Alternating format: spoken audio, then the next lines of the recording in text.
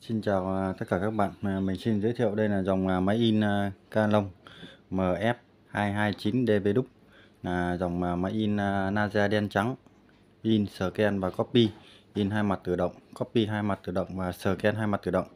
hôm Nay mình xin hướng dẫn cách copy hai mặt tự động. Để đầu đầu tiên thì mình sẽ mở nguồn cho máy in. Đó, mình sẽ cho giấy vào khay.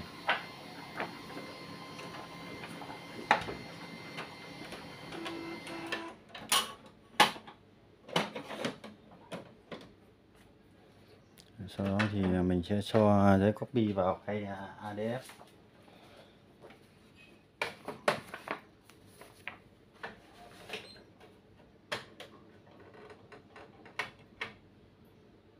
chúng ta có thể bỏ à, tối đa khoảng à, 20 tờ.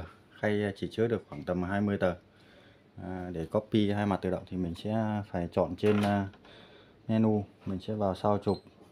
Mình sẽ mở chế độ copy hai mặt. Và mình à, chỉ cần bấm start thôi.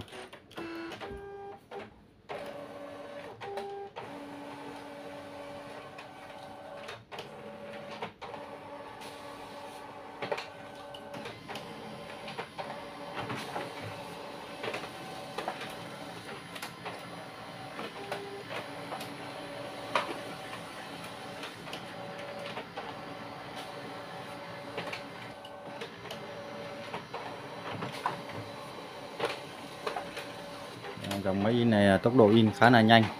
À, tốc độ in là 2700 một phút à, ổ nhớ là 256M và độ phân giải là 1200 dpi à, có hỗ trợ kết nối wifi và in qua điện thoại. À, một trong những dòng máy à, khá là hiện đại. À, dùng hộp mực à, 337A mực in là khá là rẻ.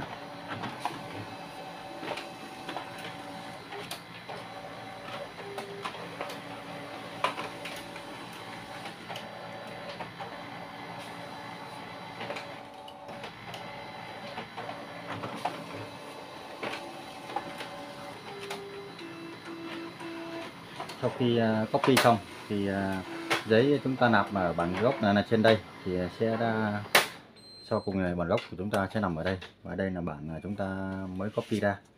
À, mới copy ra. À, copy được à, mình nhớ mình copy khoảng 5 tờ như vậy là 5 tờ thì copy được hai mặt thì nó cũng mất khoảng mà một phút các bạn ạ. Mình tính khoảng một phút hơn một phút xíu nói chung là với dòng máy in văn phòng nhỏ mà copy à, với tốc tốc độ như vậy là khá ổn và khá nhanh. Theo như mình là, là khá ok. À, video như vậy là video hướng dẫn cách à, à copy hai mặt à, trên dòng máy in MF 229 DB của mình à, đến đây là kết thúc. À, bên mình thì chuyên mua bán và sửa chữa các dòng máy in laser đen trắng và laser màu. À, mình xin cảm ơn tất cả các anh chị đã theo dõi video. Mình xin cảm ơn và mình xin chào.